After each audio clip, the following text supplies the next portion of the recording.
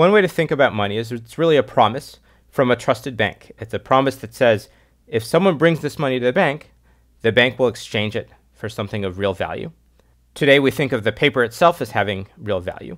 But in the early days, what the paper meant was you could go to the bank and exchange it for something that everyone recognized as real value.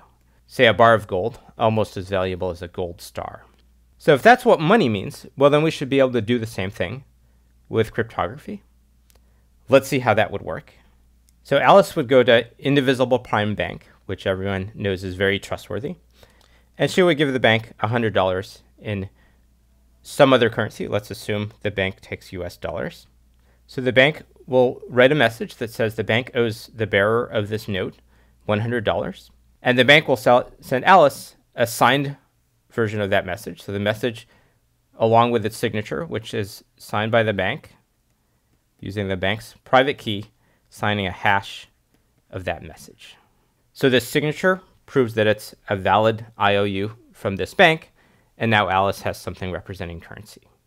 Now, Alice could spend the currency. She could buy some tacos from Bob's Taco Emporium, give him the currency, pretty expensive tacos, and Bob could take the note, this signed message from the bank, and give it to the bank and ask the bank to deposit it into his account. So now the question is how well would the scheme that I've described work? And let's assume that everyone in the universe trusts indivisible primes and knows that bank's public key.